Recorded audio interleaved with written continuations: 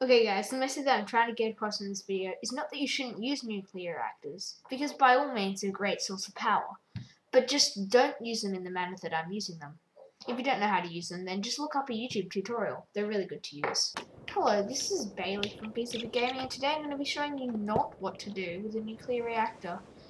I was dumb enough to do this while close to my, um, well, very close to my uh, quarries, and it didn't end well.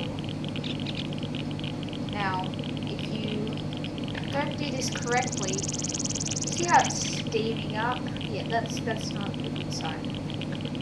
Oh, sheep over there. Well, that sheep is going to die.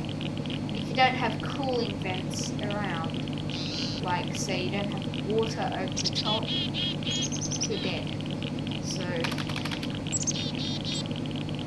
get some water.